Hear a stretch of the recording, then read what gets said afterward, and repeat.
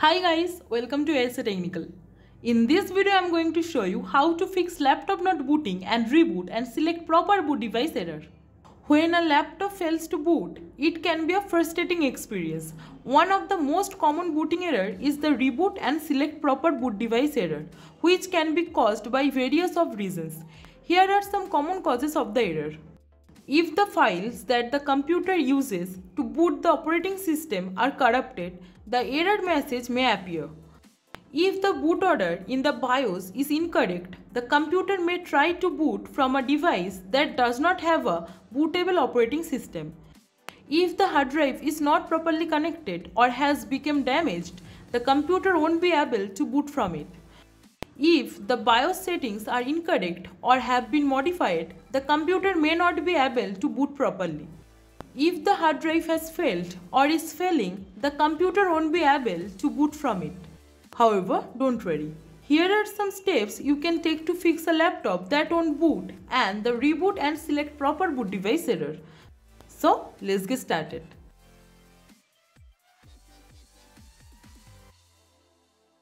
You can try using a Windows installation disk. If you don't have a Windows installation disk, then here's a certain tutorial for you. Insert the disk and restart your laptop or force shutdown by pressing Shift plus power button. Now turn on and go to your PC's BIOS or PC's boot manager to boot from that. In my case, the BIOS key is F2 and the boot manager key is F12. Check your manufacturer information for the BIOS key. OK, once you enter the PC's BIOS or boot manager, select your Windows installation USB to boot from that.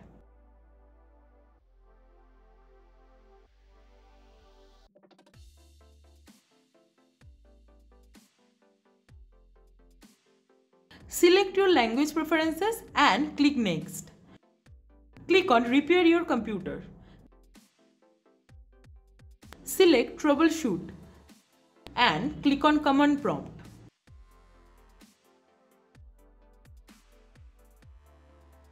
Type disk part and press enter. Type list disk and press enter. This will display a list of all the disks on your computer. Type select disk, your boot disk number, where Windows is installed. And press enter. Type list partition and press enter. This command will display a list of all the partitions on your disk. Type select partition, your OS partition number where Windows is installed and press enter. Type detail partition and press enter. This will display detailed information about the selected partition. Check the partition style section. If it says MBR, this method may not work and you need to continue with the second way to MBR partition style. If it says GPT, continue with the step.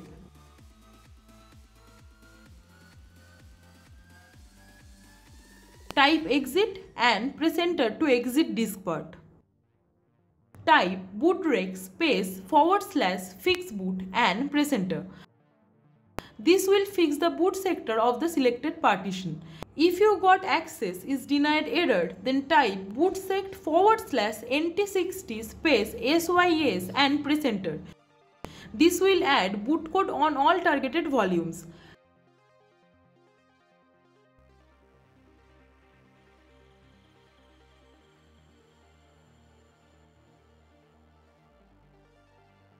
Now again type bootrec forward slash fix boot and press enter. Okay, now as you can see the message the operation completed successfully. Type bootrec space forward slash scanos and press enter. This will scan your computer for Windows installations.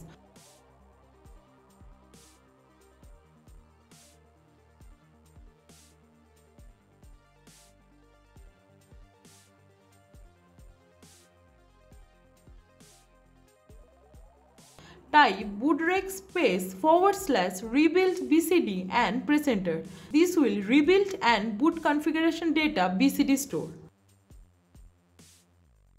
Now type A for all to add installation to boot list.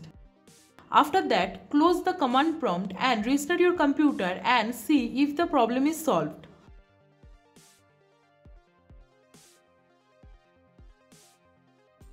Continue if you are using MBR partition style. Type bootrec space forward slash fix MBR and press enter. Type bootrec space forward slash fix boot and press enter. If you got access is denied error, then type bootsect forward slash nt60 space sys and press enter. Type bootrec forward slash fix boot and press enter. Type bootrec space forward slash scanos and press enter.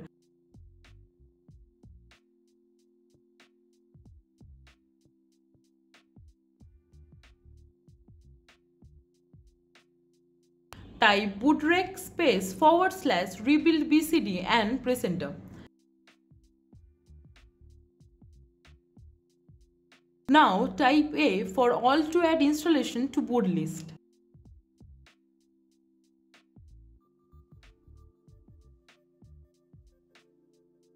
Type exit and press enter to close the command prompt. Restart your computer and see if the problem is solved.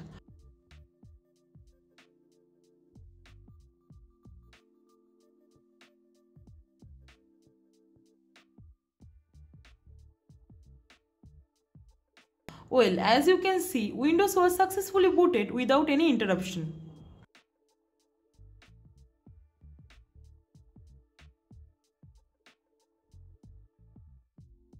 Access your laptop's BIOS or UEFI setting by pressing a key during startup, usually F2, F10 or delete.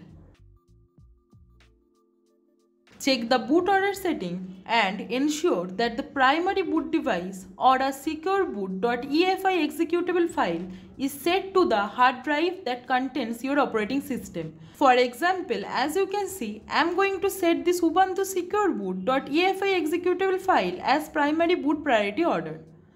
You can also disable any other boot devices that are not needed, such as network boot, wake on LAN, USB boot.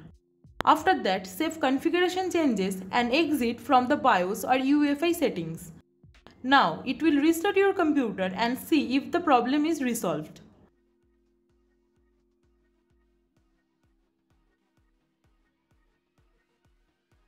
Well, as you can see, our Ubuntu was successfully booted without any interruption.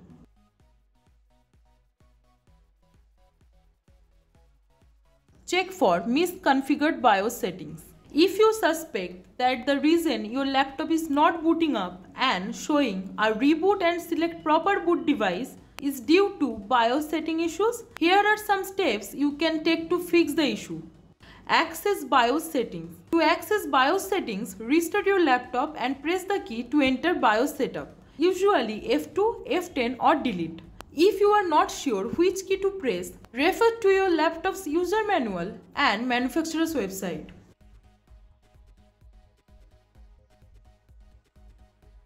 Check boot order. Check the boot order settings to ensure that the primary boot device is set to the hard drive that contains your operating system. If the primary boot device is not set to the hard drive, change it to the correct option.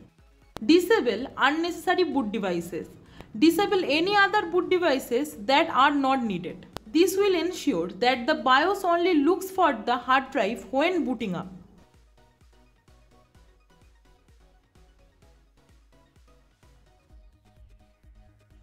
Once you have made changes to the BIOS settings, save and exit. Your laptop should now boot up without any problems.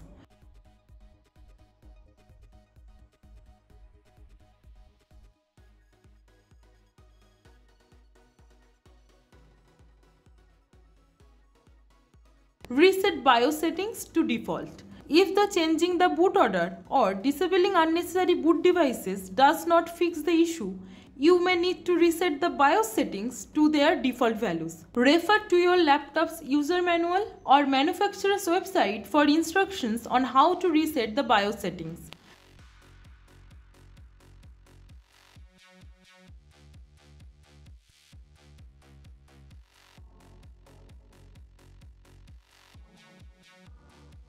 If you suspect that the reason your laptop is not booting up and showing a reboot and select proper boot device error is due to loose or damaged hard drive connections, here are some steps you can take to fix the issue. Turn off your laptop. Before opening your laptop to check the hard drive connections, make sure your laptop is turned off and unplugged from any power source. Locate the hard drive. The hard drive is usually located in a compartment on the bottom of your laptop. Refer to your laptop's user manual or manufacturer's website for specific instructions on how to locate the hard drive. Check the connections. Once you have located the hard drive, check the connections to ensure they are securely in place. If the connections appear lost, gently push the hard drive connectors back into place. If you notice any damage to the connectors, you may need to replace them. After checking the connections, test the hard drive to make sure it's functioning properly. You can run a diagnostic test on your hard drive by accessing your laptop BIOS or UEFI settings and running a hardware diagnostic test. Once you have checked the connections and tested the hard drive, close up the compartment and reboot your laptop. If the hard drive connections were the issue, your laptop should now boot up without any problems.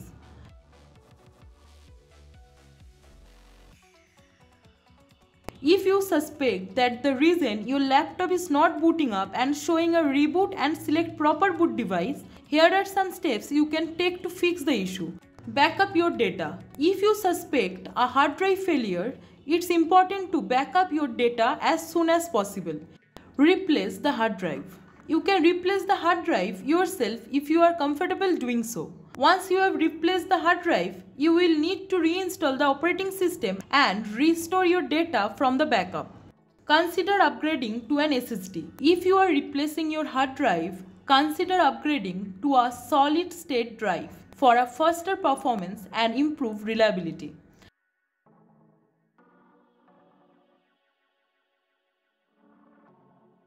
So I hope this guide was helpful for you. If you have any question or any advanced guide then please let us know. Please like, comment, share. We need your support. And guys please don't forget to subscribe our channel. Thank you. Thanks for watching. Have a nice day.